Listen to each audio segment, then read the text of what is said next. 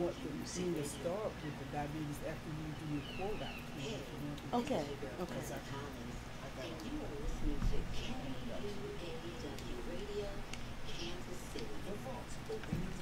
Expressed on this show are not the thoughts, opinions, and statements of KUAW, LPFL 98.5.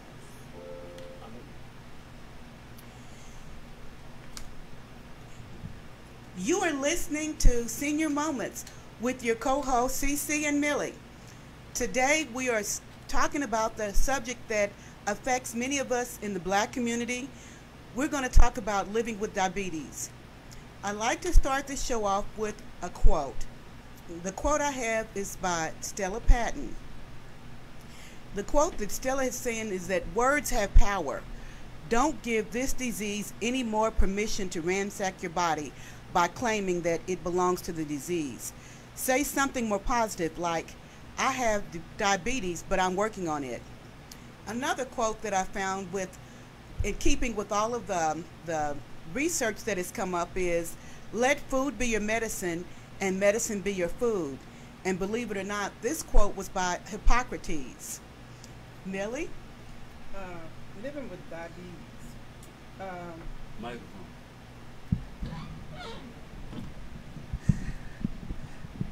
Excuse me, living with diabetes.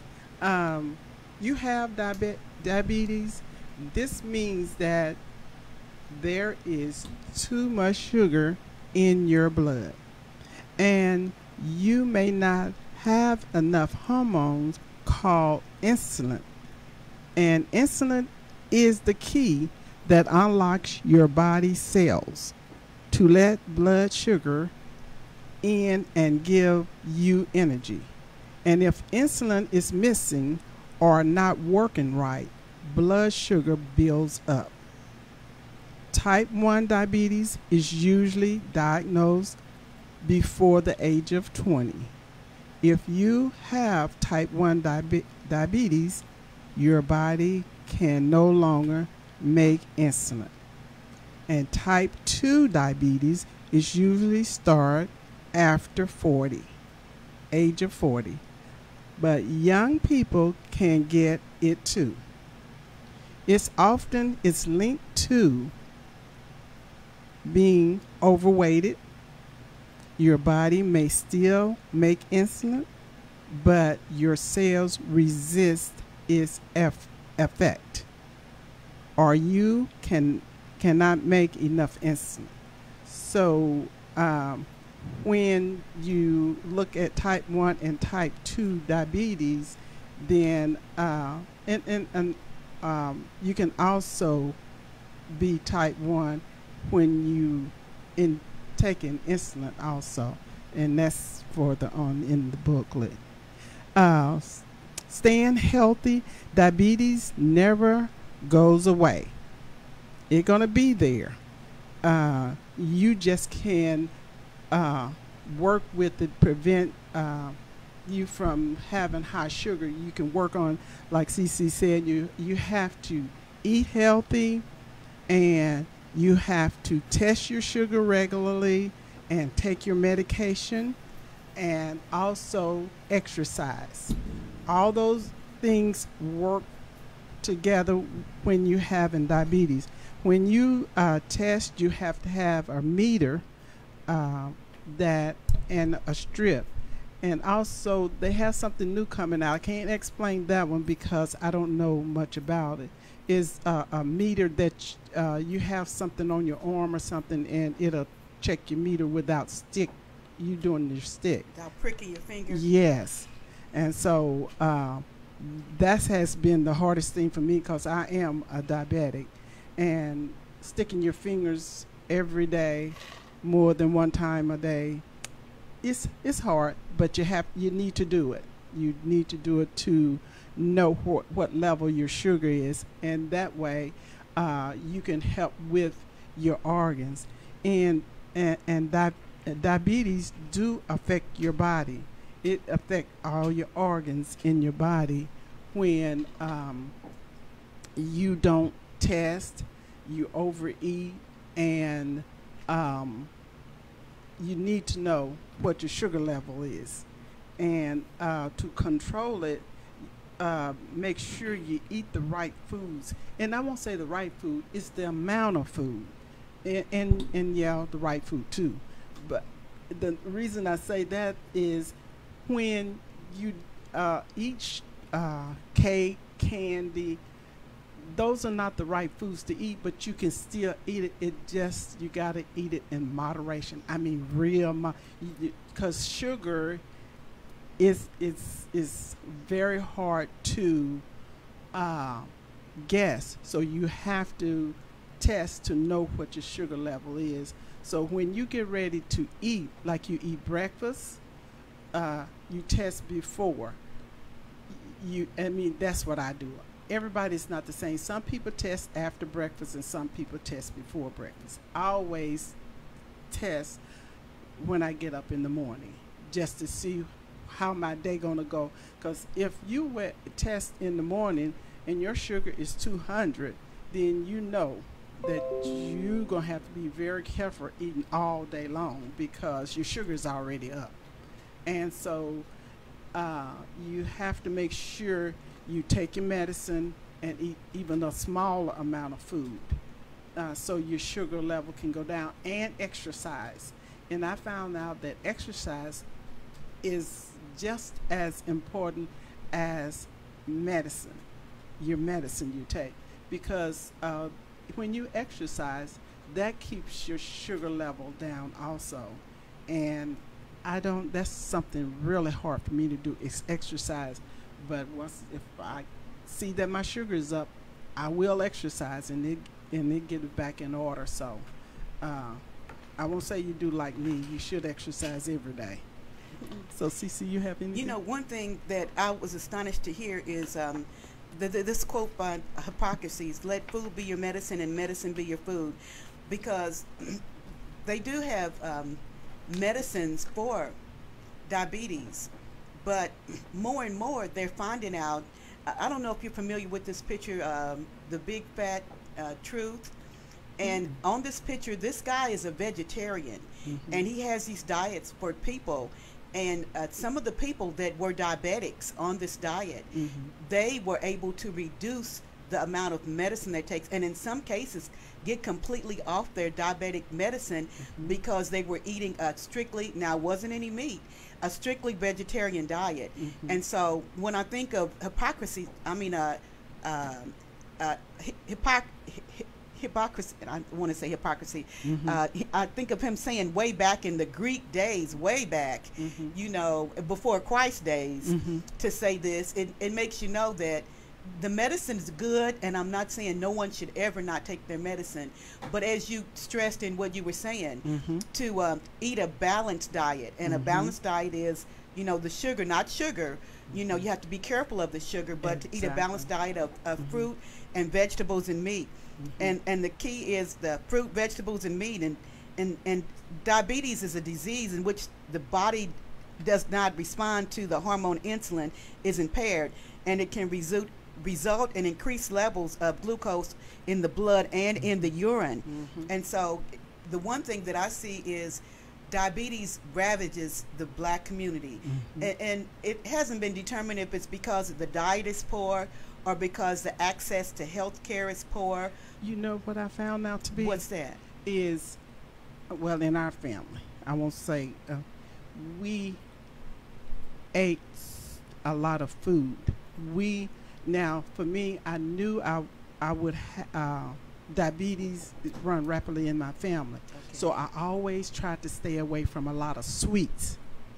But I sit down and ate big plates of food. That was that was my mistake, and that was our mistake. We used to eat a lot of food and try to stay away from sweet because we thought sweets was the one that's going to make you be a diabetic. Mm-hmm.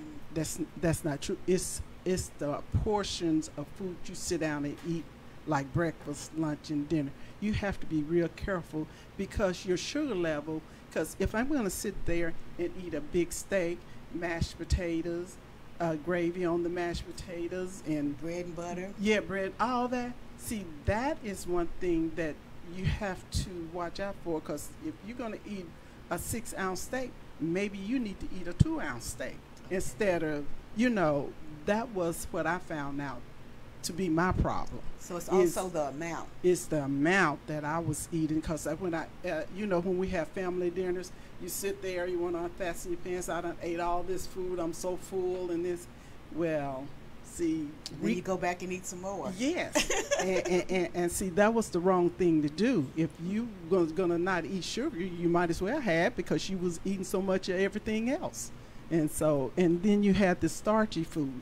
See, didn't think about the starch is just as bad as the sugar, Right. and so yeah. You know, one thing that I have found that I was really surprised to find out that uh, you know everybody talks about eating too much salt, uh huh. and yes. and salt is not the best to eat in excess, That's but the sugar is just as bad. Yes. And I never I never realized that until till recently. and and and then after I become a diabetic, then I found out about your kidney, your liver, your heart, your eyes. All of these things is very important because if you overeating, you killing all your organs. And I didn't know that you sit there and just eat, eat, eat, and then you look up, your kidneys is not functioning, your liver not functioning, your eyes, you blind and you blurry, and so it's it's it's work. It's sugar works on you, and blood sugar is also uh, blood glucose. That's what they call it, and your goal is to keep your blood sugar as close as possible to normal.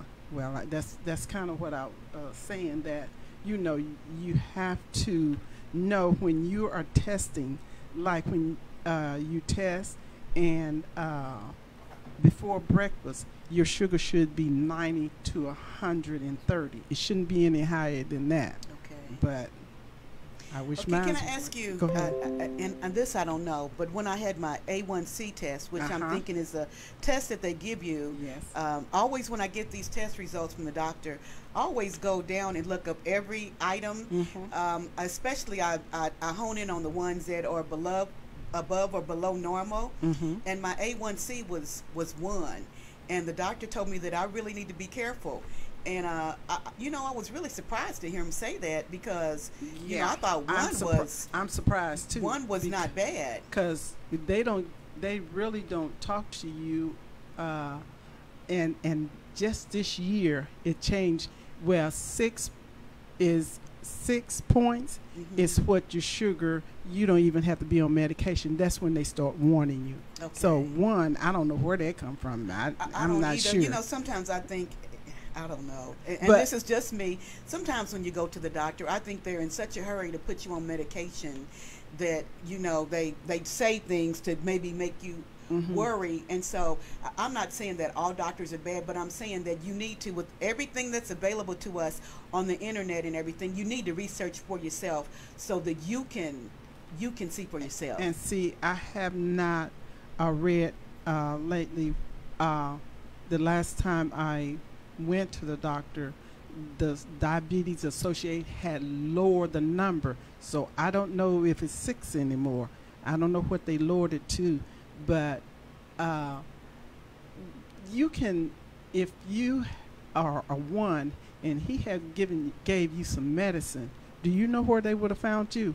Laying out on the floor somewhere Okay. because if your sugar is not low and you're taking medicine that make it lower then your sugar can be too low and Okay. then you'll pass out you know and so that's how some people finds out uh, when they said they are diabetic and the doctor give them medication and that have happened to people before Okay. and so uh, I, I, I don't know.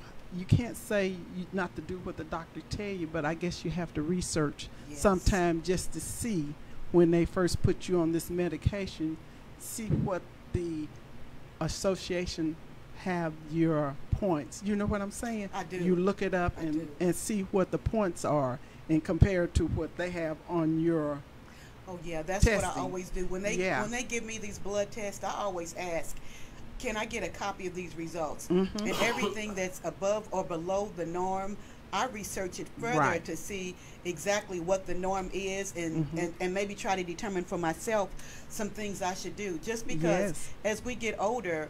I, I keep going back to this um, uh, quote by uh, Hippocr- Hippo. I keep saying Hippocrates, but this German medical doctor from before Christ, and when he said, "Let food be your medicine, and medicine be your food." It, it, it, and then when I looked at the picture, the vegetarian on television, the Big Fat Truth, he brought down their uh, A1C levels just with being on a vegetarian diet. And, and, and I know that if it's something that is pertaining to whether you can live or die or be blind or, you know, because diabetes is a very serious disease. is, it and as I keep saying, it ravages the, the black community. And, and, and, I, and I keep repeating, I don't know if it's because there is a, a lack of medical care or if uh, Not knowing. not knowing, not No. knowing and not going to see. Right. And uh, the uh, H1 A1C. A1C, uh, they when you're diabetic, they're supposed to check your A1C every three months, just to see that keep you in line with what it's supposed to be, and uh, and when you uh, you learn how to use your your uh, meter and your strips, and you know uh, with the cost of your prescription and things, now your meter don't cost that much. You can get a cheap meter, but your strips are the one that cost so much. It can cost a hundred and some dollars, and it depends on your insurance. Your insurance may pay for them and may not. And thank God I'm not on insulin because they said the insulin medication is extremely high now. And if you don't have insurance, you can't even afford it. Oh my. and so um, it's it's and and then uh, it's very hard to test people that it'd be good if someone was here to explain how when you're on insulin they have to test regularly and eat. And i noticed that i have friends that are on insulin they gain a lot of weight and that's because they are on insulin. Then they have to eat the food to uh, keep the your sugar up, because insulin lowered, you know. So they have a rough time. That's why I fight so hard, and that's why I eat like I do. And being on a on the fast have really helped me to get that in balance. I have been eating uh, less food and uh, eating correctly, Okay. and that have helped me a lot.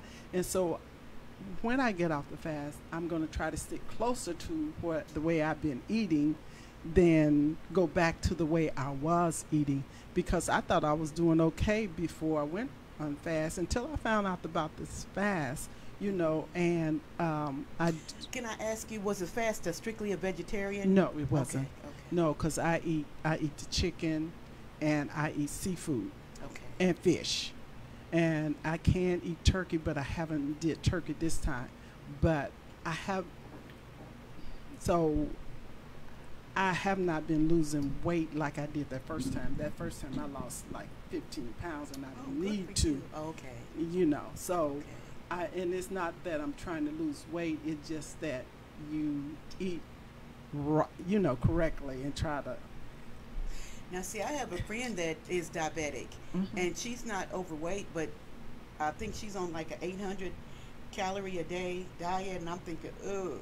But the one thing that I noticed that she does have, she really she exercises and everything. Uh-huh. The one thing that I noticed that she does have is problems with her sight, and Yes. so uh, she Yes. really does eat eat right. And the one thing that I have started doing, it's not in my immediate family, Mhm. but in in relatives and cousins, they're diabetic. So uh, one thing I have to say is we're genetically predisposed towards diabetes, and so um, the one thing that I have started doing is. I, I, I would like to be a vegetarian. Let me say that, Uh-huh, but uh-huh. I, it just it just doesn't work for me.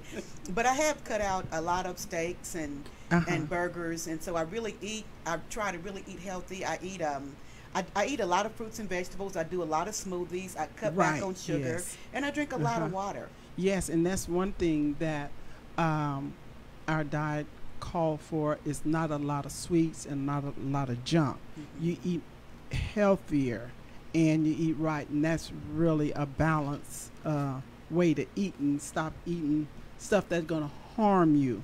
and Right. especially when you're already where I am, like a diabe- like I'm a diabetic. So you really need to do that uh, right. So we're gonna go and take a break, and we will be back.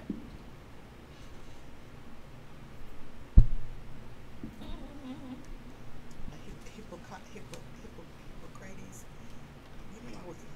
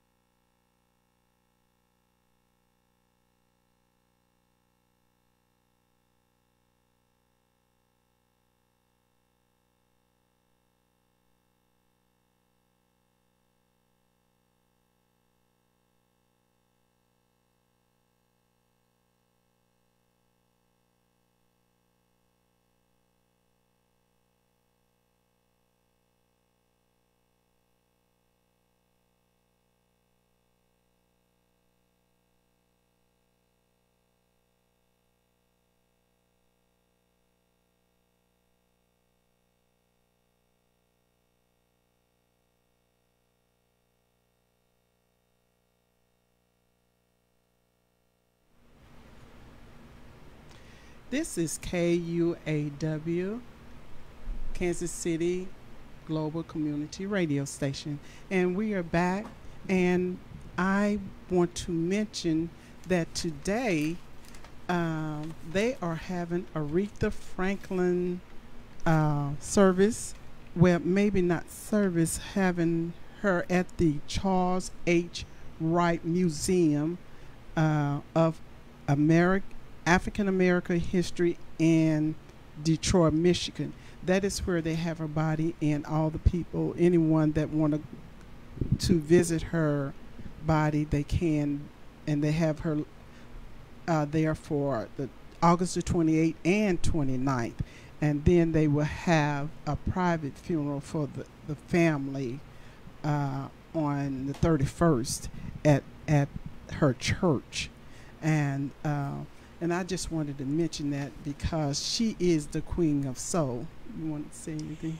You know, I I commend Aretha Franklin for the life that she lived and for the music that she gave us. Oh, yes. That just, I mean, who can forget respect? R E S P E C T. Oh my, we used to just snap our fingers. Mhm. And and one other person, you know, that we need to really give a shout out to. Yes. It's John McCain. hmm I didn't agree with his political point of view, but I agree with the fact that he was a decent human being that stood up for what he says. And he was uh, uh, um, service. He uh, went to the um, Vietnam, and got captured and everything. So he was a good spirit person that he worked across the aisles. You know, he didn't just think about um, the Republican. He thought about everybody. And, and I was impressed when he wouldn't leave. He had Mhm. an opportunity to leave, Right. and he wouldn't leave just because his his father was an admiral. He Mhm. wouldn't leave and leave the other people behind. He came home with them. Yes. A- And so I, I, I commend him. I also thought about the time when the lady came up to him when he was running for president Yes, and I said she too. just didn't she didn't think about she didn't like uh, Obama. Obama. because he was a Muslim. Is that what Mhm. she called him? She called him a, a, a- a. Muslim or something Mhm, she called him mhm. and and John McCain stopped her and said no he's a decent family man and he Mhm. just let her know that he was a decent man but they just had del- different, Different- political points of view Right. and so I, I want to commend him too because a, great American has died Mhm. with with him John McCain Right. and the Queen of Soul is gone Yes. and with Aretha Franklin Right, exactly. And you know, um, uh, and you have to put hate behind you. yes You cannot hate people and and well, I'm gonna leave that alone because we don't have but another minute, and I'm gonna do uh, spiritual moments, and I'm gonna read from Matthew's 13 and one through, I'll let you know that. The day, the same day when Jesus out of the house and said and sat by the seaside, and the great multitude was gathered together unto him, so that he went into a ship and sat, and the whole multitude stood on the shore. And he spake many things unto them in parables, saying, Behold, a sower went forth to sow. And when he sowed, some seed fell by the wayside, and the fowls came and devoured them. Some fell upon stony place where they had not much earth, and forthwith they sprung up, because they had no deepness of earth. And when the sun was up, they were scorched, and because they had no root, they withered away. And some fell among thorn, and the thorn sprung up and choked them. But others fell into good ground and brought forth fruit, so and some an hundredfold, some sixtyfold, and thirtyfold. Who has ears to hear, let them hear. That was Matthew's 13 1 through 9. And this has been KUAW, Kansas City Global Radio Station. And thank you for listening to Senior Moment with CC and Millie.